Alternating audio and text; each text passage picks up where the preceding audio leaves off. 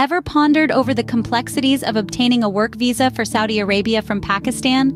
It may seem like a daunting task, but with a proper understanding and the right approach, it's not as complicated as it seems. First things first, the process begins with securing a job offer from a Saudi Arabian employer.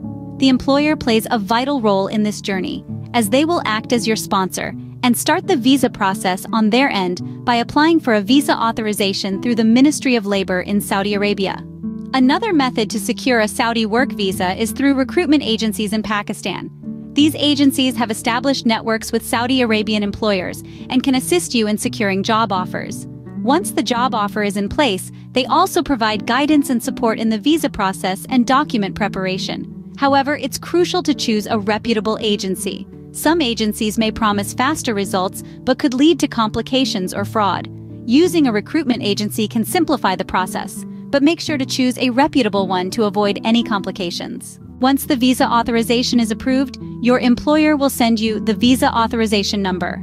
This number pivotal for the subsequent step, which is filling out the online application form on Enjaz, the official visa services platform of the Saudi government. This is the third scene in our process. Carefully cross-verify your information before submitting it, as any inconsistencies can lead to setbacks or even a refusal of your application. In our fourth scene, you'll need to gather and prepare the crucial documents. This encompasses your passport, which must be valid for a minimum of six months, photos, a medical report, a police clearance certificate, and an academic or professional qualification certificate. The medical report must come from a medical center that is recognized by the Saudi Arabian Embassy, and it should explicitly state that you are free from all contagious diseases.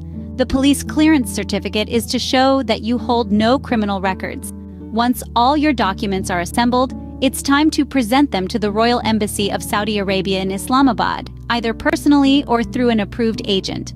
Alongside your documents, you'll also be required to pay the visa fee, which fluctuates based on the nature of the job and duration of stay.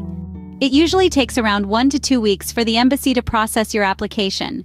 If everything goes smoothly, they will stamp your passport with a work visa, and you will be ready to kickstart your new journey in Saudi Arabia. Wrapping up, procedure of obtaining a work visa for Saudi Arabia from Pakistan involves securing a job offer. Scene 1. Applying for a visa authorization. Scene 2. Completing the online application form on Enjaz. Scene 3. Preparing and submitting the necessary documents. Scene 4. And paying the visa fee. Scene 5. It may appear like a lot, but remember, each step brings you nearer to your target. So, remain patient, stay focused, and before you know it, you'll be on your way to commencing a new chapter in Saudi Arabia.